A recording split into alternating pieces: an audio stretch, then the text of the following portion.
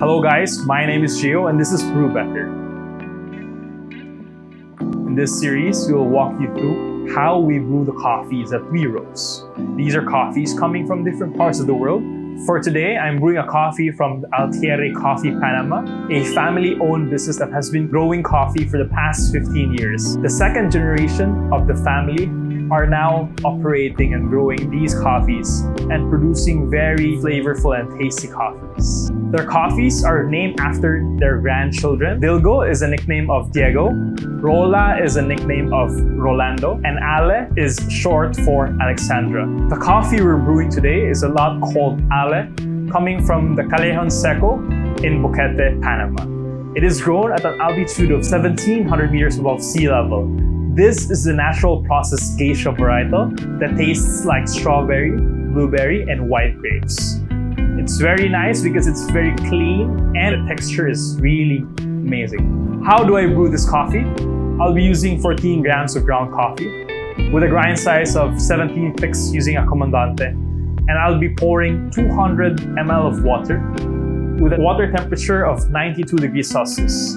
I'll be using a glass flatbed brewer this will help me extract the coffee more consistently and more uniform. What I love about this brewer is that it helps the coffee taste consistent in all temperatures, from hot to cold.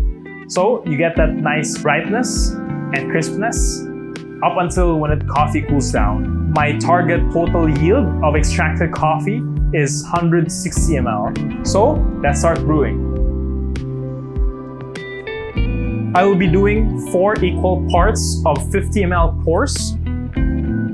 First, let's saturate the coffee bed evenly, as fast as we can. And then on the 25th second, let's pour again our next 50 ml. So what we'll do, we'll just do circle pours.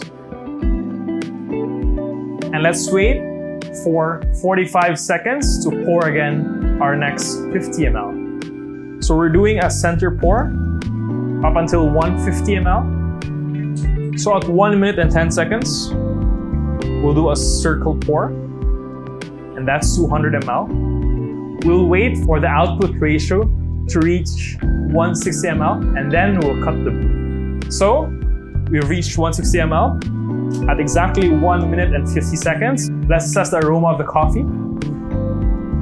In the aroma, you're greeted with strawberries. At the same time, you get that nice nuttiness. And let's enjoy the coffee. When it's hot, the strawberry is consistent together with blueberry. It also has a very sweet brown sugar finish. Now let's try the coffee when it has cooled down. So now the coffee becomes a lot brighter with strawberry, blueberry, and white grapes. Overall, this coffee is very bright and sweet. It also has a nice texture. The balance is amazing because of the sweetness. Always remember that the best coffee is a coffee that suits you. It should be something that you personally prefer. Feel free to share with us your experience with this amazing coffee and how you brew this coffee. Talk to us through Facebook and Instagram. We'd be happy to learn from you and to engage with you. Cheers and don't stop brewing.